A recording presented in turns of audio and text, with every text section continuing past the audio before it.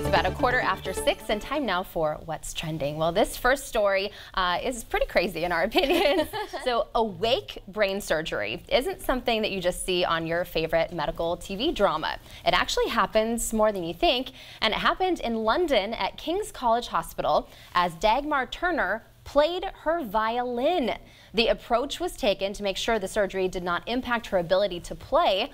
Awake brain surgery has become a common tool used by neurosurgeons in order to preserve a patient's brain function.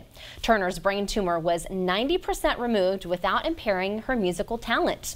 The 53-year-old concert violinist has been discharged from the hospital and is now recovering at home. And she should be able to return to her chair at the Isle of Wight Symphony Orchestra soon. So what do you guys think about this? That's insane. Tyler and I are both watching, and we were both kind of like, ooh. I was, I was looking away half the time because that just creeps me out a little bit. I know, it, it's remarkable to see her yes. playing this, but also to like, you can see those neurosurgeons really working at, on the surgery and like, uh, yeah, it's, I don't know. I know. Yeah, you guys definitely have the heebie-jeebies. Yeah, yeah I, I, don't do well with stuff like that.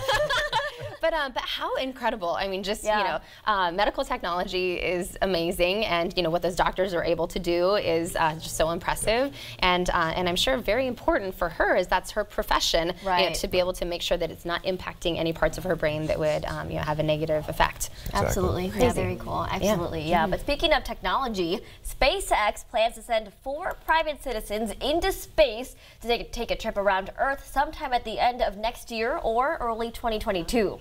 The company announced a deal Tuesday with Space Tourism Business, which has helped people take trips to and from the International Space Station aboard Russia's Soyuz rock rocket.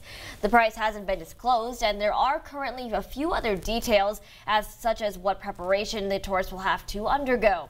SpaceX CEO Elon Musk has teased the idea of space tourism as a business for a few years, and the companies did say that the tourists will fly in the human-rated version of SpaceX's Dragon spacecraft and that they will orbit Earth at two to three times the roughly 250-mile height of the ISS. So how cool is that? I'm sure it is a lot of money to be able to be one of those four winners, but I would love to take a trip around space and just see everything there is to see.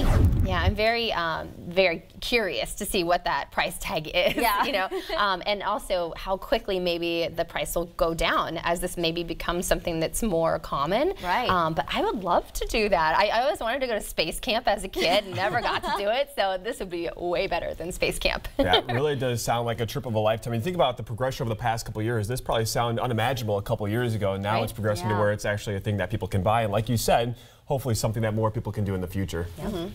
Well, we're going to take this next story to something new with Burger King. After talking about something new with SpaceX, I'll have a number eight with some extra mold, please. Burger King just released a rather interesting ad campaign, and it's kind of a stomach churner.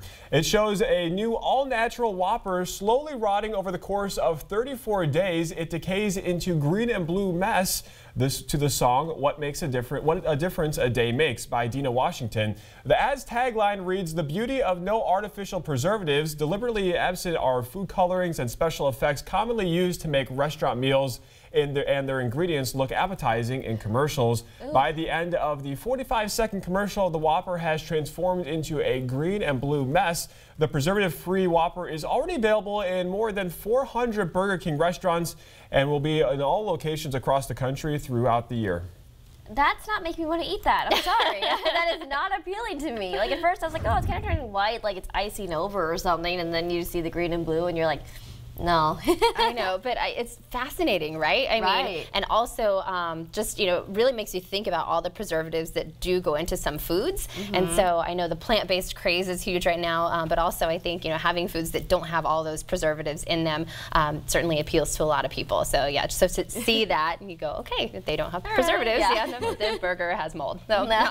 and we've seen other stories too where it's been burgers that have preservatives last number of years and stay in oh. like, decades. Yeah. in condition that looks looks like it was made just yesterday. so yeah. it is Nasty. nice to see something real and new like that. Yep. Mm -hmm. But at the same time, still not gonna take a bite of that moldy. yeah, it doesn't make me hungry. Lots of our stories make me hungry. that one doesn't. Not that one. Yeah. well,